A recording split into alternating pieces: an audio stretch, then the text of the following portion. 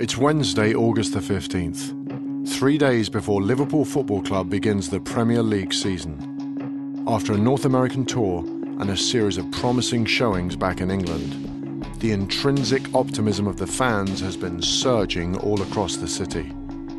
At Melwood Training Ground, the team will soon report for a day of work, which means club employee Patrick Daly has a job to do, raising the red flag high in the air for all of Liverpool to see.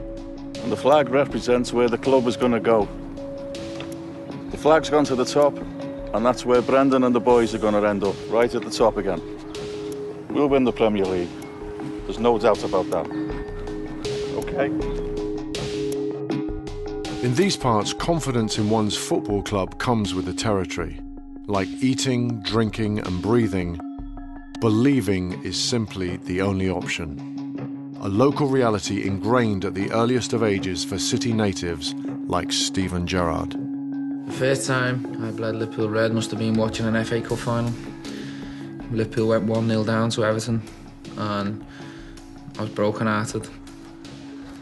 I was holding back the tears in front of my family, and Liverpool actually turned the cup final round and won 3 1. And that's when I knew that Liverpool was going to be a big part of my life. That's when I knew it was inside my body. I had the love for this football club.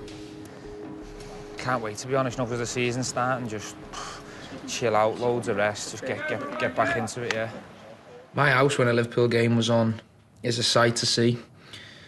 You know, my dad before I was nine was trying to pump that into me, um, but it wasn't coming, and it came when I was nine years old, and I sort of wanted to be like my brother and wanted to be like my dad, so I suppose they've got a big part to play why I'm a big red.